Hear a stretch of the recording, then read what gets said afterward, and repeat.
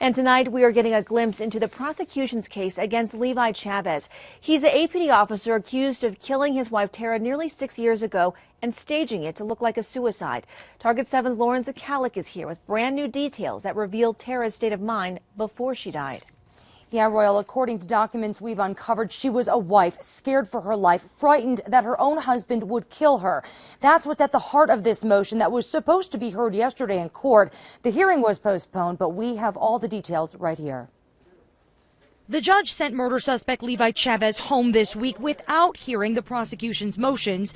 Those motions were to reveal just how terrified Tara Chavez was that her husband Levi would kill her for exposing his plot to stage a car theft for insurance purposes. Those are things Tara did discuss with us, and uh, it's important for her voice to be heard.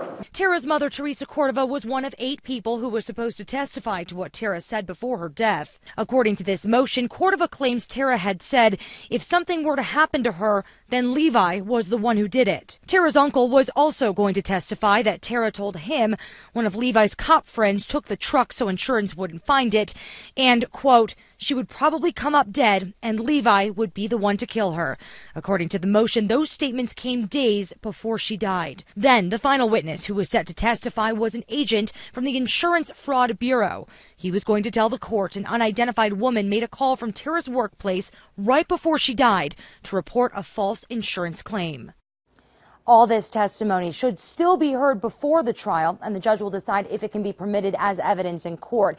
But according to the defense, the judge ruled yesterday he didn't want this information to be to be discussed until closer to trial. Royal. Levi Chavez no longer works for APD. It wasn't until years after Tara's death that her husband was even charged with her killing.